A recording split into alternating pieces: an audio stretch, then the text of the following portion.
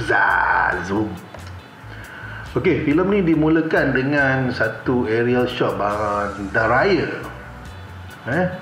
Aerial shot bandaraya Kuala Lumpur. Okey dan kemudian kita diperkenalkan dengan satu watak baru. Okey. Uh, berjambang turun daripada bas apa semua. So kita cut jap.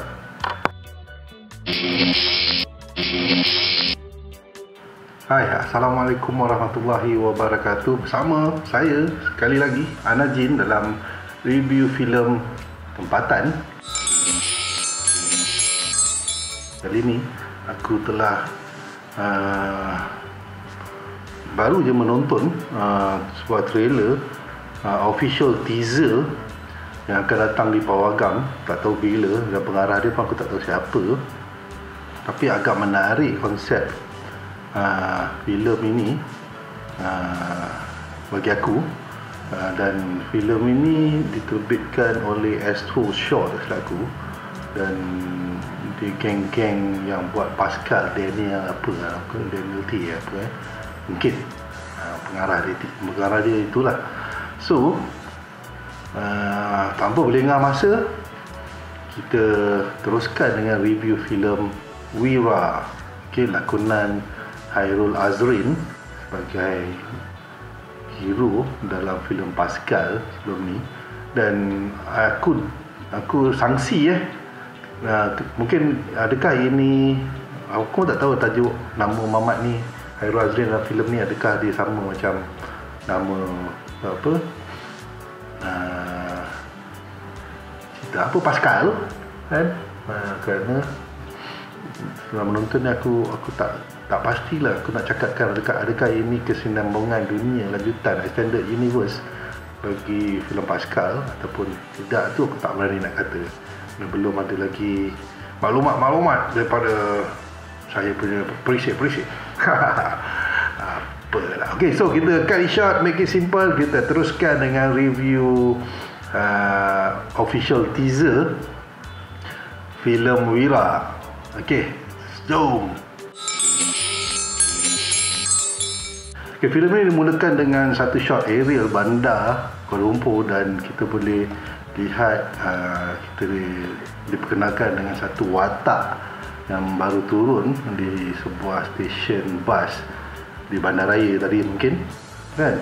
Dan watak ni uh, dibawakan oleh Hairul Azrin eh pelakon utama filem Pascal jadi dia mungkin aku tak pasti dia adakah dia seorang bekas tentera nampak daripada dia punya karakter tu macam kan adakah dia seorang fighter ha? dan kita teruskan kita boleh lihat kemudiannya kita didahkan dengan satu punch bag ok uh, black nah, lighting dia pun agak menarik ya. waktu tu ni nampak macam best. Ya lah. okay, punch bag tu dan kita boleh lihat Azul Abu Badan Razrin tengah training eh. Uh, dengan punch bag dia telah menunggu dan kita dikenalkan dengan satu watak baru dalam hujan berjalan. Uh, siapakah watak ini? Mungkin uh, watak ini adalah watak bapa daripada Hai Razrin dalam filem ini. Kemudian kita melihat watak lain seorang lelaki kot. Aku rasa lelaki. Ha, seorang lelaki sedang bergaduh kan, kembali pada Hai Razrin sedang berlatih uh, Punch Bag dan filem ini diterbitkan oleh penerbit filem Pascal the Movie. Okey dan kita lihat wah aku suka lah lighting dia. Yang ini nampak macam cyberpunk lah kan? Wah bagus bagus bagus. Kan? Air Azrin oh, kita boleh lihat ada satu pertandingan perempuan MMA eh. Ah, dan kita boleh lihat Air Azrin sedang bermain pisau bersama. Maksud aku tu Yayan Ruhian lah dan kita dikenalkan dengan uh, apa watak baru. Ada dua eh watak baru. Aku rasa pembunuh pahan kot. Uh, ha. Dan kemudian itu lihat al ni masih lagi training kan tadi ya. dan di bahasan terakhir dia tu kan uh, ya. Yayan Ruhian ni uh, berlakon untuk filem ini. Dan wah dan yang akhir sekali keluar adalah seorang satu watak yang sangat-sangat menarik untuk ditonton filem ini kerana dia adalah seorang pengarah hebat juga eh iaitu Dain Said yang telah mengarah filem Bunuhan dan Interchange. So akhirnya Wira akan datang. Hmm, agak menarik juga eh.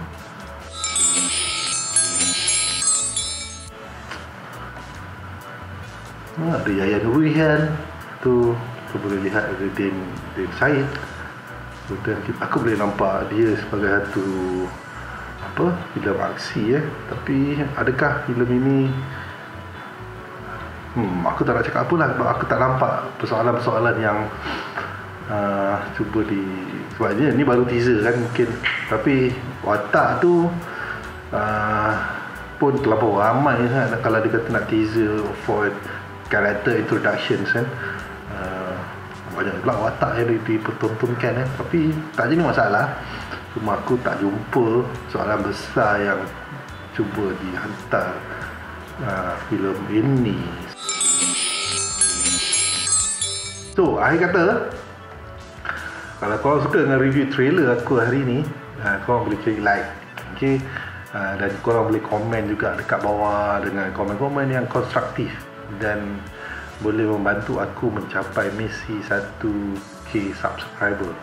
Okay Dan janganlah korang klik dislike. Okay Dan harapannya korang boleh share video-video aku ni Dekat korang punya sosmed uh, Facebook, Twitter apa semua kau boleh share untuk memastikan aku dapat mencapai misi 1k aku tu. Dan jangan lupa untuk ya, klik notifikasi bell. Kerana dengan klik notifikasi bell uh, korang akan dapat kemas kini dan update daripada Rogue and Rebel Studio dan aku Anajin. So akhir kata Salut Opera juga